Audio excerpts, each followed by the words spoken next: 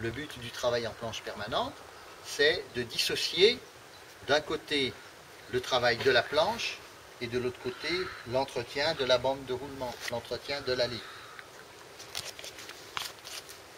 Cette allée qui reste permanente, ça ne nous gêne pas du tout qu'elle soit tassée, c'est même plutôt un avantage, mais par contre on ne veut pas qu'il y ait des herbes qui s'installent, on ne veut pas qu'il y ait de la terre fine qui retombe dedans. Donc il faut qu'à chaque passage, on empêche l'herbe de s'installer et qu'on remonte la terre fine. Donc il faut qu'on ait un outil qui travaille ça, mais il faut qu'il le travaille comme ce doit être. Et pour travailler la planche, on cherche à la structurer plus ou moins en profondeur, etc. Et donc, il faut aussi que le travail corresponde à ce qu'on souhaite. Donc il faut dissocier les deux choses. là, il y a mon outil préhistorique euh, arrangé merdouillou par quelqu'un qui ne sait pas souder et ça, je ne l'ai pas fait tout seul, hein. je l'ai fait euh, avec un gars qui, s'est soudé. Euh, donc euh, moi, tout ce que j'ai pu faire, je l'ai fait. Et puis, ma foi, ce qu'il y avait besoin de refaire, je l'ai fait refaire. Mais c'est la, la, conception de cet outil qui est vicié. Le fait que plus on travaille profond dans la planche, plus on va travailler profond dans la vie.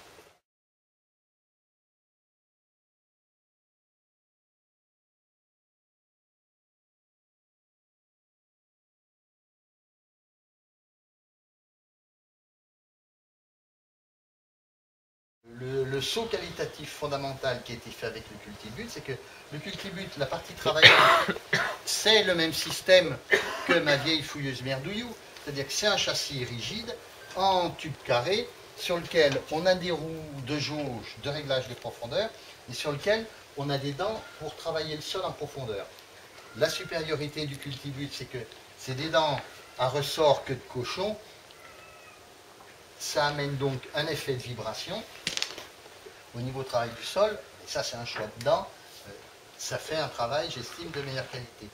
Mais au niveau de la conception, le coup de génie, c'est sur ce châssis, donc, dont la profondeur de travail est réglée par l'intermédiaire du triangle d'attelage automatique par ces roues de jauge, c'est d'avoir un deuxième bâti. Ce bâti, il est articulé, hein. il est fixé ici et là, et donc il est mobile. Donc on peut régler indépendamment la profondeur de travail des dents et la profondeur de travail de cette partie-là. Sur ce bâti-là, on a un disque donc, qui gratouille la terre de l'allée, qui remonte la terre fine que les dents ont pu faire descendre dans l'allée. Et la profondeur de travail de cet outil, de cette partie-là, elle est fixée par une cale qu'on ressoude là-dessus. C'est-à-dire que vous partez du stage autoconstruction avec cette pièce faite jusque-là. Et une fois arrivé chez vous, en fonction du boulot que vous voulez faire, vous mettez une pièce d'usure là, de l'épaisseur que vous souhaitez. Et c'est la différence entre cette côte-ci et cette côte-là qui va déterminer à quelle profondeur vous allez travailler dans votre allée.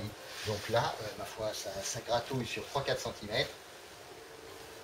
Et que vous alliez plus profond ou moins profond avec ces dents-là, vous aurez toujours la même cote de travail de ce disque-là. C'est ça qui détermine la qualité du boulot qu'on peut faire.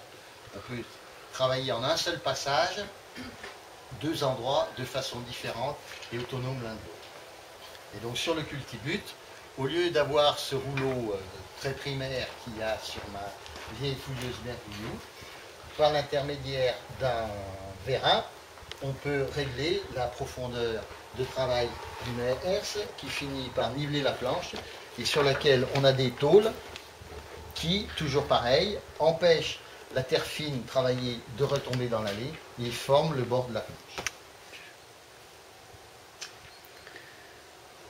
Voilà, euh, grosso modo, la, différence de, conception entre euh, les deux outils ben, ma foi, le résultat de, ce qu'a fait Joseph et le groupe de travail Permanente.